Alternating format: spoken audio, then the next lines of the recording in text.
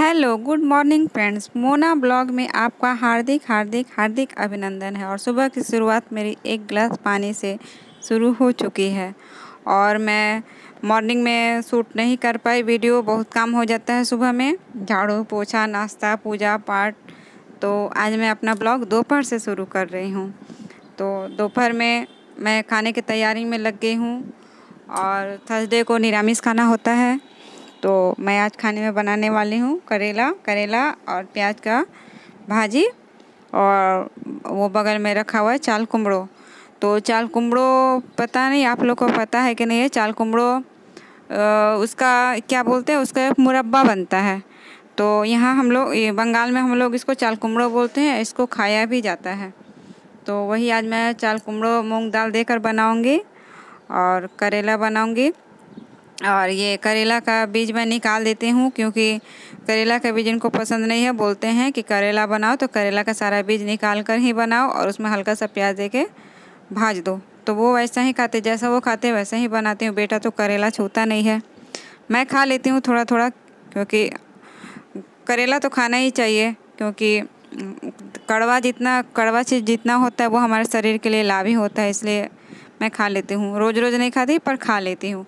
उनको भी सप्ताह में सप्ताह में छः दिन नहीं देती, पर सप्ताह में कोशिश करती हूँ कि दो या तीन बार करेला दूँ, क्योंकि शुगर पेशेंट के लिए कोई एक तीता सामान तो खाना ही चाहिए, इसलिए मैं उनको करेला देती हूँ।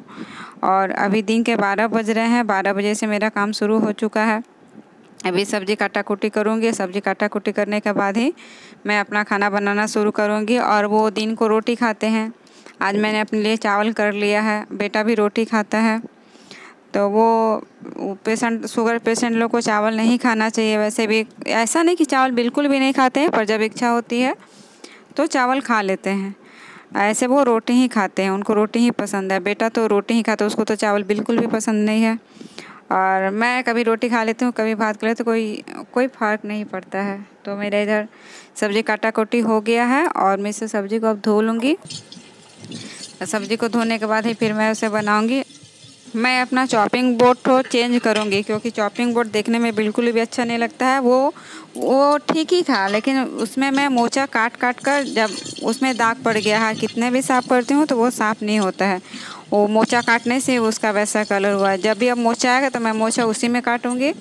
और सब्ज़ी काटने के लिए एक अलग से चॉपिंग बोर्ड लेकर आऊँगी, क्योंकि वो मुझे देखने में भी अच्छा नहीं लगता। कितना भी साफ़ करती हूँ, साफ़ होता नहीं है मेरे से। तब उसको सिर्फ़, क्या बोलते उसको, मोचा के लिए ही रखूँगी। उसे अब चेंज करने वाली हूँ मैं।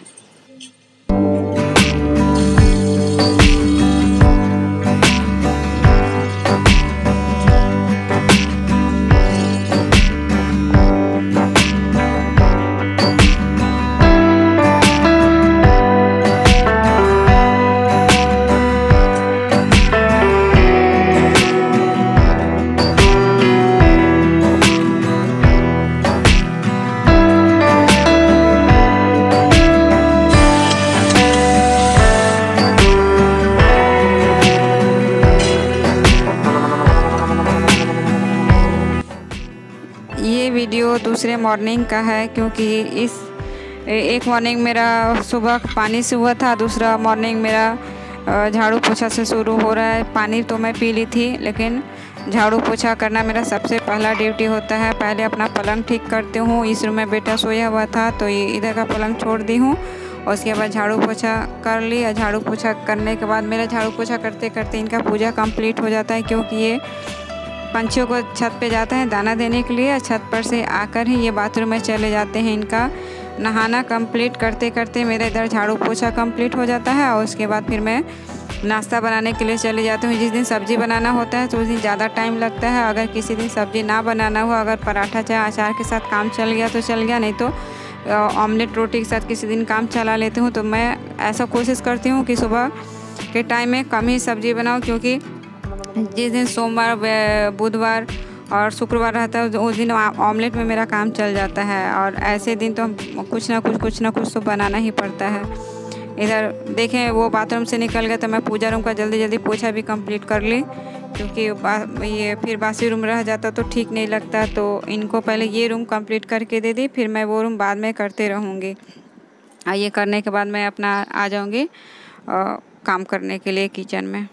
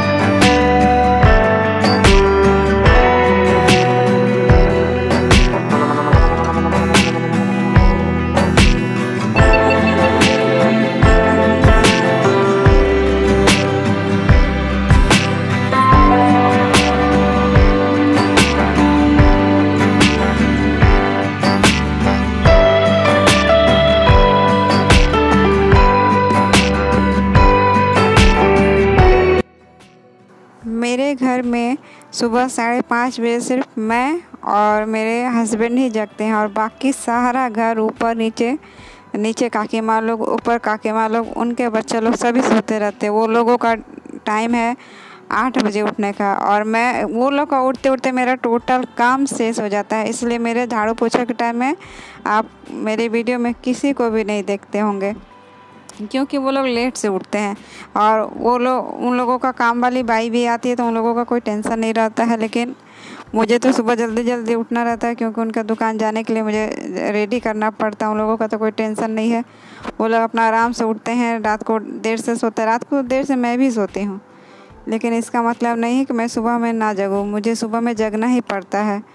चाहे कोरोना टाइम हो चाहे कुछ भी हो, मुझे सुबह ही जगना है और सुबह मेरा रोज़ रोज़ आठ, साढ़े सात, पौने आठ बजे तक मेरा डेली काम शेष हो जाता है। नाश्ता बनाने तक का भी काम शेष हो जाता है।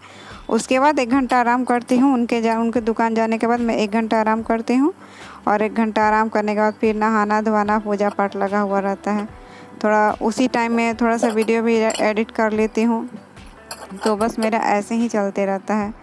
अब मैं किचन में आ गई हूँ।